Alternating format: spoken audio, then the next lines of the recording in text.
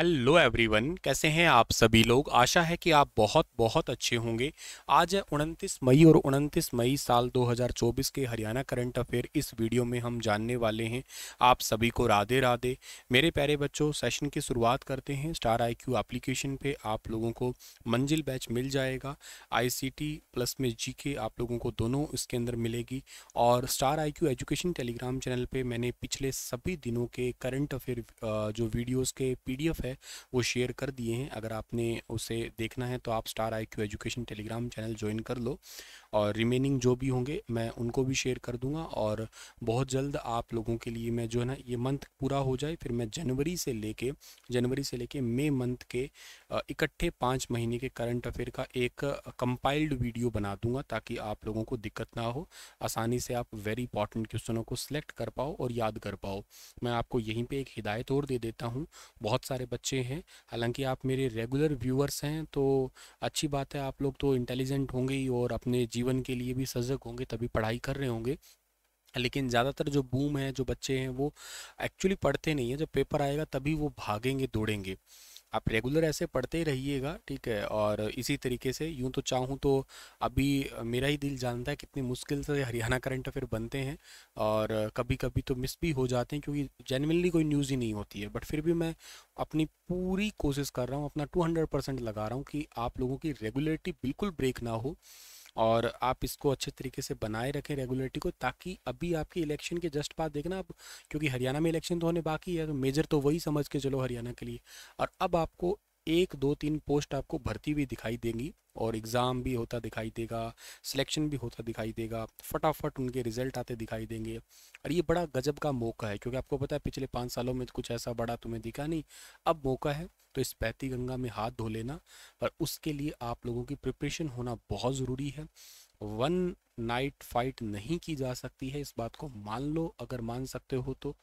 थोड़ा समय आपके पास में है और इस समय को आप यूटिलाइज कैसे कर सकते हो? अपने सब्जेक्ट प्रिपेयर करके कर सकते हो।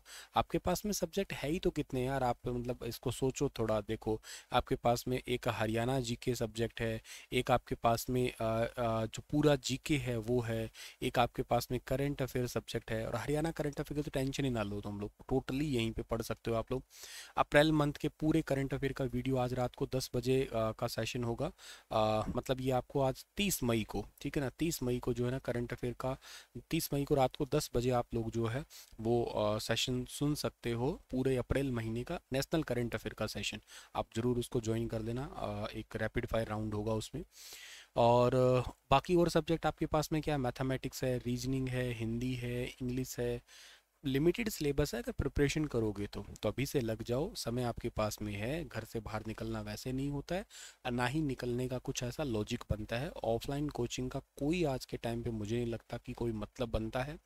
कहीं जाने की नीड भी नहीं है, क्योंकि ऑनलाइन रिसोर्सेज इतनी ज़्यादा आपको अवेलेबल है आज के टाइम पे। क्या चीज़ ऐसी है जो आपको यूट्यूब पे अवेलेबल नहीं मिलेगी? बसरते आप लोग उसको खोजना चाहो या उसको पढ़ना चाहो, ठीक है?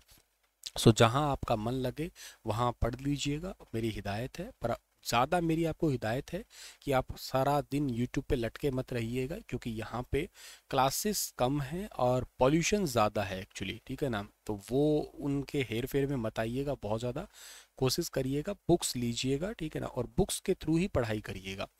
वो ये होता है कि कई बार कोई पर्टिकुलर टॉपिक नहीं समझ में आता। अभी मान लो एग्जांपल से आप लोग हिस्ट्री पढ़ रहे हो और हिस्ट्री में आपको वेदांग नहीं समझ में आया, ठीक है ना, कि सर वेदांग क्या होते हैं? क्या कितने वेदांग है? कल्प क्या है सर? छंद क्या होता है सर? ये क्या चीज़ें हैं? तो ऐसा एक पर्टिकुलर टॉपिक है, वो तो आप पूछ सकते हो या उसको सर्च कर सकते हो, मुझसे भी पूछ सकते हो, बेझिझक पूछ सकते हो, कोई दिक्कत नहीं, आप ऐसे व्हाट्सएप पे मैसेज करके ऐसी चीज़ों को इंस्टाग्राम पे या टेलीग्राम पे, कहीं पे भी आप। बट रेगुलरली बुक से पढ़िएगा, खुद के नोट्स बनाइएगा और अच्छे से प्रिपेयर करिएगा। अगर सरकारी नौकरी लगना चाहते ही हो तो अदरवाइज़ प्लान भी आपके पास में है तो वेल एंड गुड कोई इशू नहीं चलते रहिएगा। ओके सलाह है मेरी आपको और मैं ये सलाह इसलिए दे रहा हूँ क्योंकि समय समय पे मेंटरशिप करना बहुत ज़रूरी है। ऐसा नहीं है कि क्लास ली करंट अफेयर का वीडियो पाँच मिनट में रिकॉर्ड किया, भाग गया, नग पूरे नहीं करने हैं।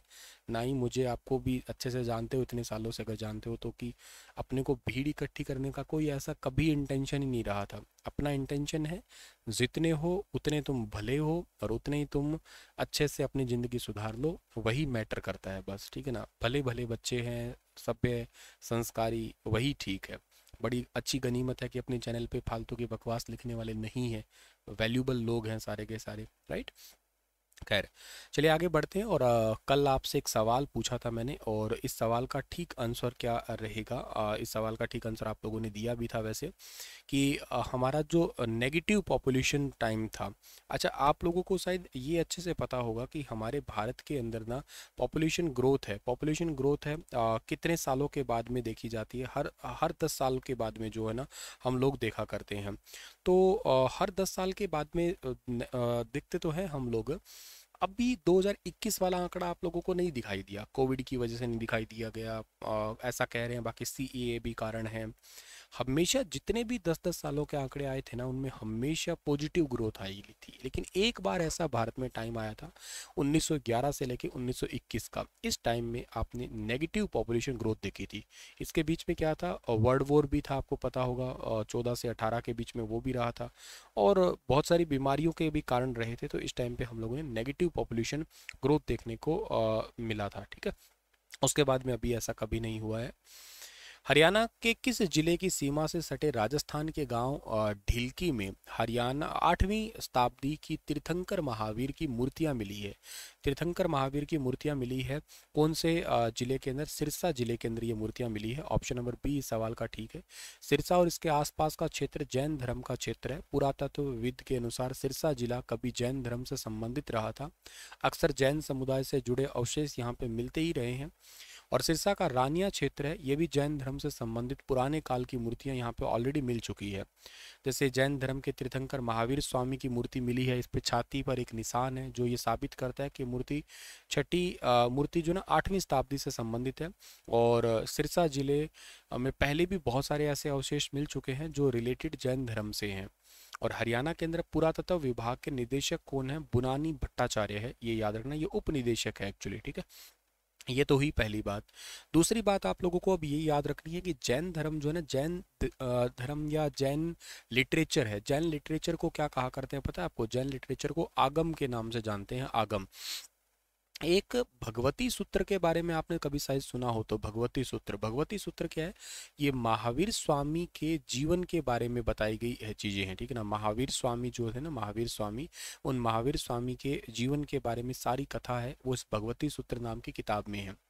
एक यान की किताब तो यहाँ पे कल्प सूत्र भी है कल्प सूत्र अब कल्प सूत्र जो है, ये जैन धर्म का जो अर्ली टाइम पीरियड रहा है, शुरुआती जो समय रहा है ना, वो सारा कल्प सूत्र में है। बाकी 24 के 24 तीर्थंकर। तीर्थंकर किसको बोलते हैं? तीर्थंकर बोलते हैं, तीर्थंकर वर्ड है, जिसने मोक्ष को प्राप्त कर लिया हो ना, उसको तीर्थंकर कहते हैं। आप कहोगे, सर, मरने के बाद किसको पता है? मोक्ष है स्वर्ग है नरक है। एक्चुअली कहते हैं कि जिसके जीवन में कभी भी एक भी बार तृष्णा नहीं आई हो या उसको गुस्सा नहीं आया हो, तृष्णा मतलब होता है कि आपको चीज़ों को कलेक्ट करने की इच्छा, ये भी मेरा हो जाए, ये भी मेरा हो जाए। जैसे आप संग्रह करते हैं। चिंता ना करिएगा, हम सभी इसी से रिलेट करते हैं, ठीक है ना? कलयुग है ये तो। लेकिन जिसके जीवन में कभी एक भी बार तृष्णा ना आई हो, प्योर जैन मुनि उसे उसे कहते हैं कि, अभी का खाना खा लिया, शाम का भी वो कलेक्ट नहीं करते हैं। शाम का मिलेगा तो ठीक है, नहीं मिलेगा तो बात खत्म। ऐसा नहीं है कि अब खा लिया, शाम के लिए टिफ़िन पैक कर लिया तो वो जो है ना, वो चौबीस ही रहे हैं, पच्चीस, छब्बीस नंबर पे भद्रबाहु और स्थूल भद्र थे। तो कहते हैं कि उनके बीच में विवाद हुआ था एक बार अकाल पड़ा था उत्तर भारत में तो दक्षिण भारत में जाने के लिए और बाद में फिर वापस आए तो वस्त्रों के लिए विवाद हुए थे। ऐसा मैंने हिस्ट्री में पढ़ा रखा है जो बच्चा अपने आधारशिला बैच में है, स्टार आई क्यू एप्लीकेशन पे एच पी एस सी वाले एच सी एस बैच में, उसमें पढ़ भी रखा होगा सब चीज़ें ये।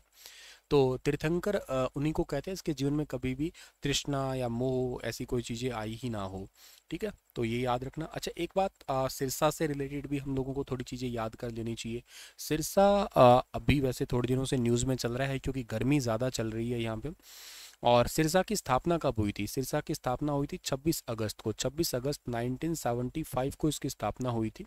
हालाँकि इसको ऑफिशियली जो इसमें एग्जीक्यूट होना स्टार्ट हुआ था ना काम, वो स्टार्ट हुआ था एक सितंबर से, ठीक है ना? एक सितंबर 1975 को।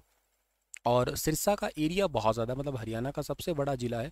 बयालीस वर्ग किलोमीटर का एरिया है, अकेले सिरसा ज़िले का ही। और सिरसा के अंदर जो एक आरक्षित सीट है मतलब रिज़र्व सीट है ना वो कौन सी है? रिज़र्व सीट है यहाँ की काला वाली ठीक है ना? आ, काला वाली है ठीक है ना? काला वाली आरक्षित सीट है यहाँ की। इसके अलावा सिरसा ज़िले से आप लोग ये याद करना कि राजा पारस का किला अगर आपसे पूछ लिया जाए हरियाणा में कहाँ पे है? राजा पारस। तो राजा पारस का किला भी हरियाणा के सिरसा ज़िले के अंदर ही है। और इसके अलावा लीलाधर दुखी संग्रहालय नाम से है एक, हरियाणा में बहुत फ़ेमस है, कई बार पेपरों में आया है, इसलिए फ़ेमस बोल रहा हूँ मैं। लीलाधर दुखी स्मारक लीलाधर दुखी स्मारक, ये भी कहाँ पे, ये भी सिरसा के अंदर है, ठीक है ना? इसकी स्थापना साल 2001 में की गई थी। एक आपसे अगर पूछा जा सकता है, शहीद भगत सिंह स्टेडियम कहाँ पे है? शहीद भगत सिंह स्टेडियम। तो शहीद भगत सिंह स्टेडियम भी हरियाणा के सिरसा ज़िले के अंदर ही पड़ता है आपका। इसके अलावा चौधरी देवीलाल जी का गाँव है ना, वो भी कौन सा है? चौधरी देवीलाल जी का गाँव जो है ना, वो है चौटाला गाँव है, ठीक है ना? चौटाला, ये हरियाणा का सबसे पश्चिमी गाँव भी कहलाता है, सिरसा का है ये। और इनका एक नारा था चौधरी देवीलाल का, वो कौन था? कौन सा था? लोक राज लोक लाज से चलता है। भारत के उप प्रधानमंत्री बने थे, किसानों का ऋण भी माफ़ किया था तो काफ़ी फ़ेमस माने जाते हैं वो। इसके अलावा हरियाणा के अंदर, सिरसा के अंदर जो है ना, और आपको एक गुरुद्वारा याद करना है, जो गुरुद्वारा पेपरों में आ चुका है, चोरमार गुरुद्वारा। ये गुरुद्वारा कहाँ पे है? सिरसा के अंदर है। एक डेरा बहुत फ़ेमस है, और वो है डेरा बाबा डेरा बाबा भू भूमन शाह, ठीक है ना? भूमन शाह का डेरा है। वैसे डेरा बाबा सिरसा वालों का भी है, शाह सत्यनाम जी का भी है डेरा यहाँ पे। और इसके अलावा एक एलनाबाद जगह है यहाँ पे, एलनाबाद। एलनाबाद किस लिए फ़ेमस है? एलनाबाद जादूगर शंकर सम्राट के कारण फ़ेमस है। ठीक है ना? जादूगर शंकर सम्राट जो ना, वो यहीं से ही संबंधित है। एक गुरुद्वारा और सच्ची याद आ रहा है मुझे, गुरुद्वारा चिल्ला साहिब। ठीक है ना? गुरुद्वारा चिल्ला साहिब। ये भी सिरसा का है। हालाँकि गुरुद्वारा एक और भी है जो है गुरुद्वारा सिंह सभा। ये हालाँकि हरियाणा के और भी जिलों में, लेकिन चिल्ला और चोरमार ये दोनों सिरसा के अंदर ही है। एक यूनिवर्सिटी भी है सिरसा की, जिसका आपको याद होगा C D L U Chaudhary Devilal university है C D L U university C D L U कब बनी थी, याद है आपको? साल 2003 के अंदर बनी थी पाँच अप्रैल 2003 को बनी थी ये वाली, ठीक है? यहाँ का पर्यटन स्थल भी आपको शायद याद होगा आ, कौन सा है? अबूब शहर है ठीक है ना? अबूब शहर। एक तारा बाबा की कुटिया भी है शायद वो भी तो आप लोगों को याद रह लेनी चाहिए। हरियाणा में ना सबसे कम जनसंख्या घनत्व है केवल 303 है 303 उल्टा सीधा एक समान। सबसे ज़्यादा फरीदाबाद का है फोर टू टू फोर ठीक है? तो वो वैसे भी आप लोग को याद रह लेना चाहिए ओके?